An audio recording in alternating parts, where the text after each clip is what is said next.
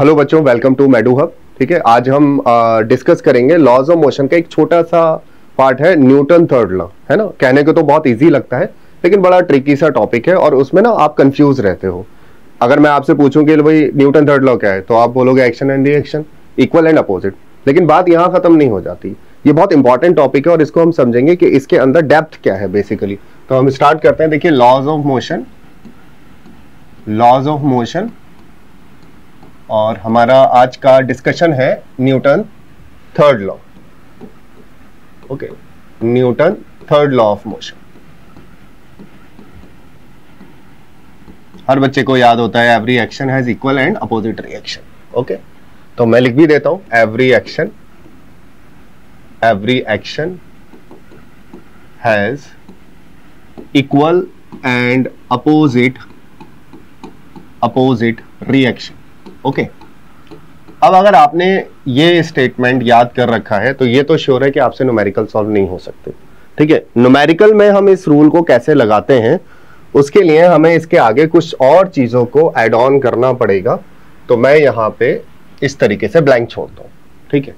आज हम देखेंगे कि इस ब्लैंक में क्या आएगा और हम कैसे अप्लाई कर सकते हैं न्यूटन थर्ड लॉ को, है ना? तो हम बोलते हैं every action has equal and opposite reaction okay चलिए, इसको एग्ज़ाम्पल से समझते हैं। एग्ज़ाम्पल से समझना आसान होगा। देखिए एग्ज़ाम्पल देखते हैं। जैसे एग्ज़ाम्पल के लिए मैं थोड़ा सा एक नॉन फोर्स लेता हूँ। आपने ग्रेविटेशनल फोर्स पढ़ा okay gravitational force gravitational force तो ग्रेविटेशनल फोर्स दो मासेस के बीच में लगता है। तो एक मास हमने ये ले लिया m1 और एक मास हमने ये ले लिया m2 एग्ज़ाम्पल के तौर पर हम ले लेते हैं, एक अर्थ है, एक हमारा मून है। है ना? इनके बीच में कुछ डिस्टेंस है पर्टिकुलर डिस्टेंस इनके बीच का डिस्टेंस हम मार्क कर देते हैं। That particular distance is R ये हमारा आर डिस्टेंस है। अब आप ये देखो कि अगर हमने जैसे एग्ज़ाम्पल लिया, ये अर्थ है हमारा और ये मून है।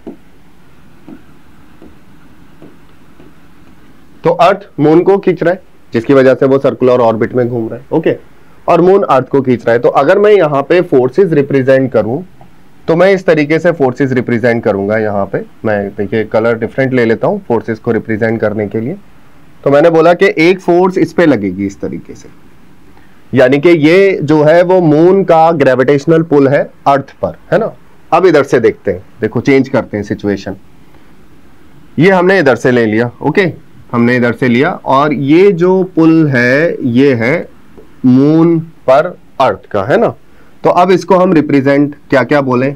जैसे ये हमने बोला कि ये एफ़ वन टू है, यानी कि ये मास वन पे लग रही है ड्यू टू टू और ये है एफ़ टू वन तो इसको नाम देते हैं।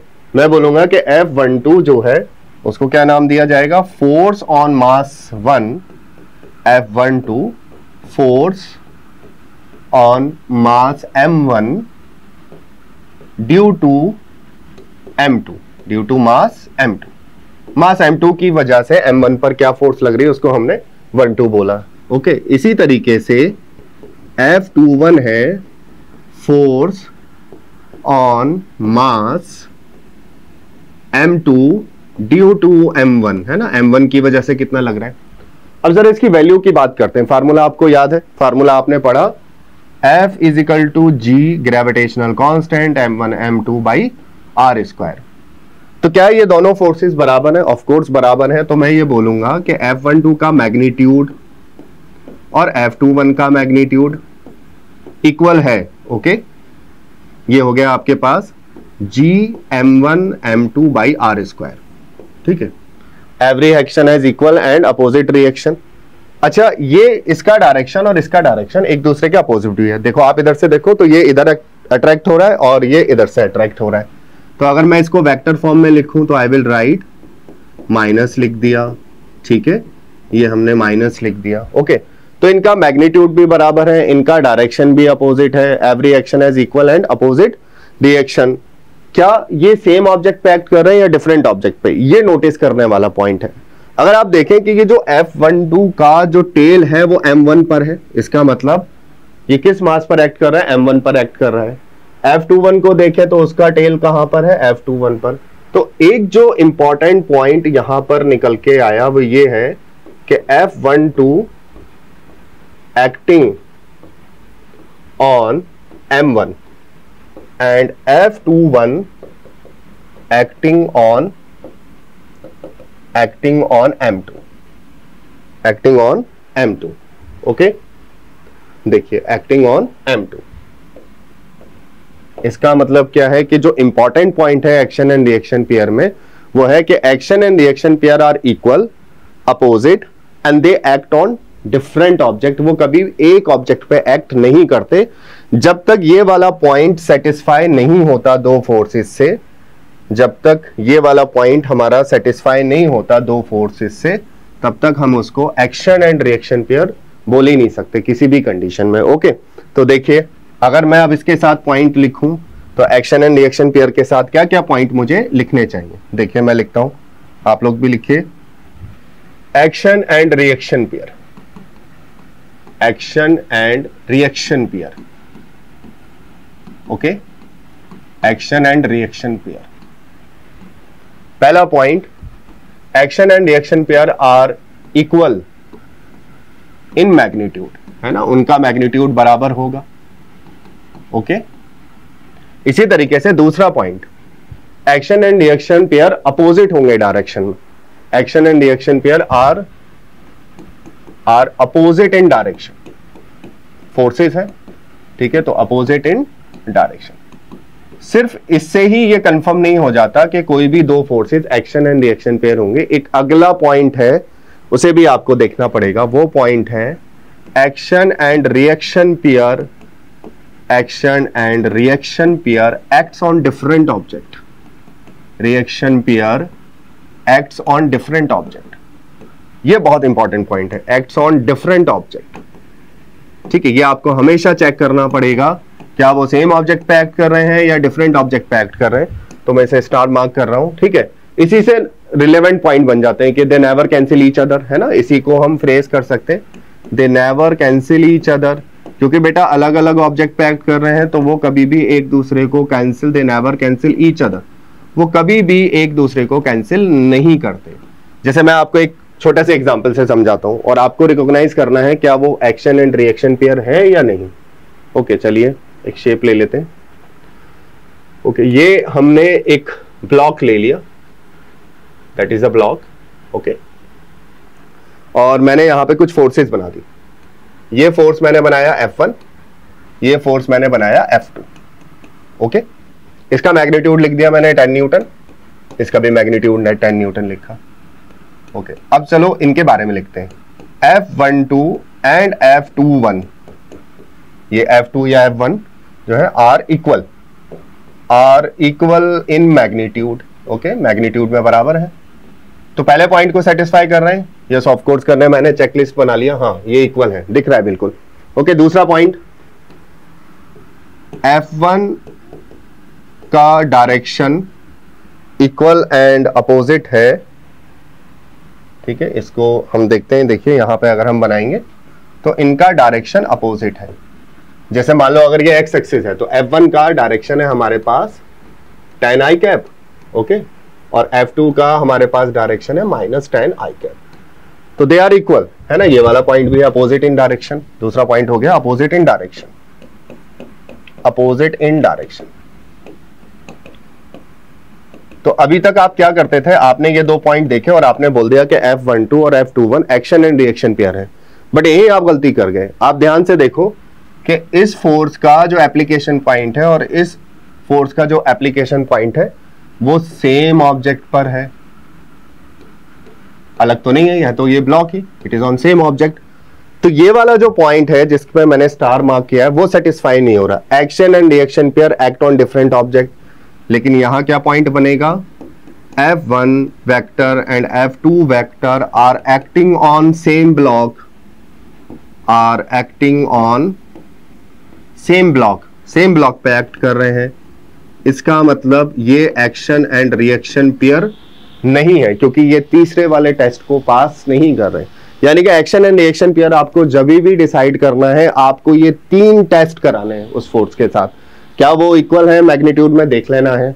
क्या वो अपोजिट है? ये भी देख लेना है। फिर ये सबसे इंपॉर्टेंट देखना है, क्या वो सेम ऑब्जेक्ट पे एक्ट कर रहे हैं या डिफरेंट ऑब्जेक्ट पे एक्ट कर रहे हैं। तो मैं यहाँ पे ये जो वाली, ये दो फोर्स हैं, ये फेल हो गए इस टेस्ट में।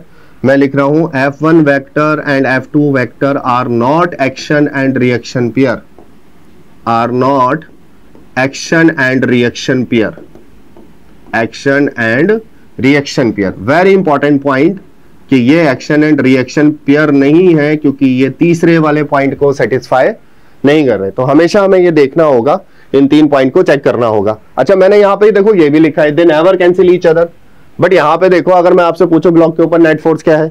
तो यहाँ पे अगर मैं आपसे पूछूँ simply what is the net force on block what is the net force net force on block ठीक है तो ब्लॉक पे अगर हम नेट फोर्स बोलेंगे तो आप बोलोगे F one vector plus F two vector F one आपका है टेन आई कैप ये है माइनस टेन आई कैप और आप बोलोगे ज़ीरो तो ये तो कैंसिल हो गए, लेकिन एक्शन एंड रिएक्शन पेयर कभी कैंसिल होते ही नहीं है। तो ये वाला पॉइंट भी सेटिस्फाई नहीं हो रहा। तो ये फंडामेंटल पॉइंट है, अगर आप दो फोर्सेस को डिसाइड करना चाहते हो कि वो एक्शन एंड रिएक्शन पेयर है। फर्दर हम कुछ और एग्ज़ाम्पल डिस्कस करेंगे, जिसमें हम देखेंगे दोबारा से हम टेस्ट करेंगे कि दो फोर्सेस हमें दे रखी हैं, क्या वो एक्शन एंड रिएक्शन पेयर है या नहीं? देखिए नेक्स्ट स्लाइड पे जाते हैं। एक बहुत कॉमन सी सिचुएशन है, जो बहुत पजल करती है स्टूडेंट्स को। ये आपने सभी नहीं बनाया, ये F B D free body diagram ये ब्लॉक है, ये ग्राउंड है। ठीक है, ये ब्लॉक है।